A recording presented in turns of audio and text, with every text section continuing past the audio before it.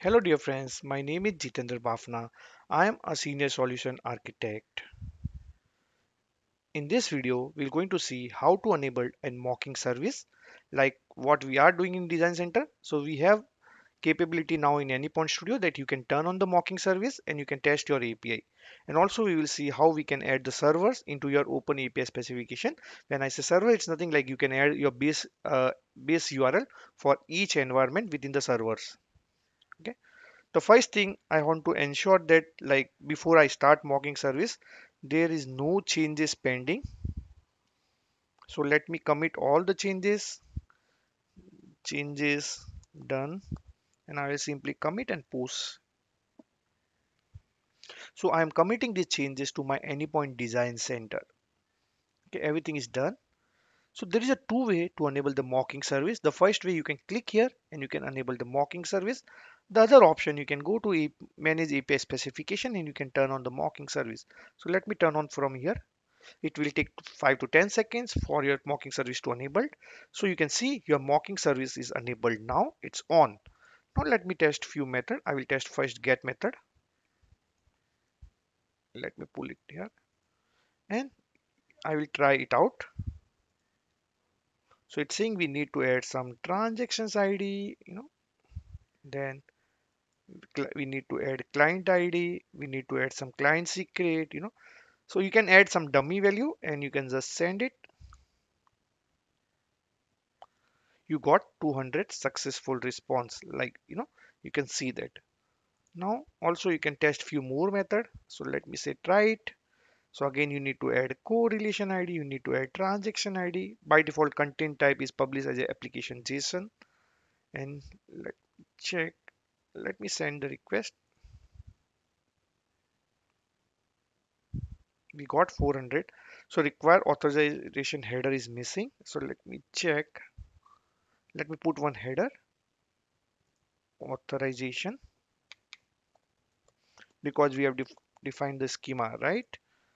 So I will say parameter value bearer equals something something something right? Send you got 201 created. This is the successful response coming back from your mock api right? So we have tested that part. Now let me do one thing. I need to add some servers. So base url so for that we have some tag called servers.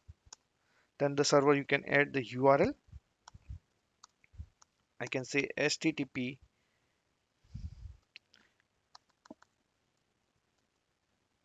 api dot example com slash api slash v1 this is my base url also i can provide some kind of description. I can say this is the production api let me copy this thing.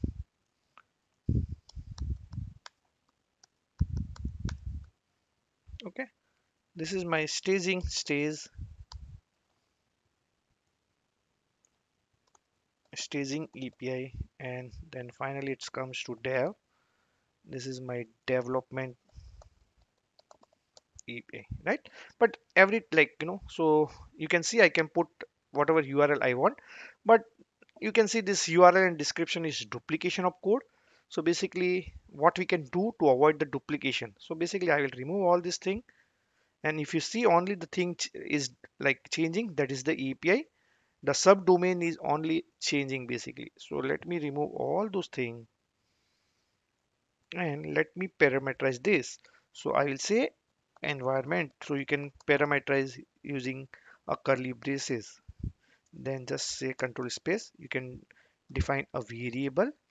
So under variable you can define the environment. You can say default environment is API then you can define the enum. So I have API I have a API stage then I have a API dev. So if you see now this looks much better. In future if some new environment come you can simply see API UAT correct? And like go to your endpoints get you know so you can see all those things so basically uh, let me save everything okay let me disable mocking service for now. Then like you know so so this is how you can add the base url let me go back to post.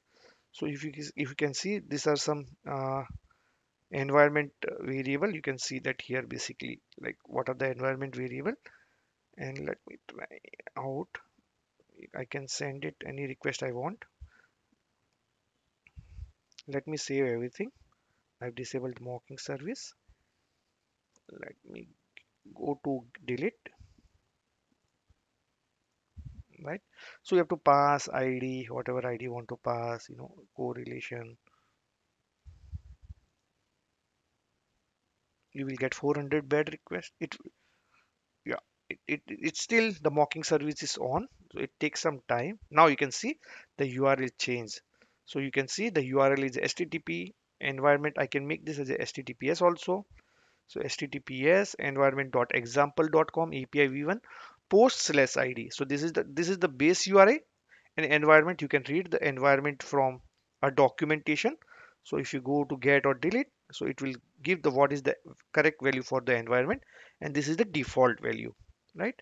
So that is how you can define a base url in the open api specification and you can enable the mocking service for testing your api i hope you like the video. Thanks for watching. If you like the video please click on like and subscribe button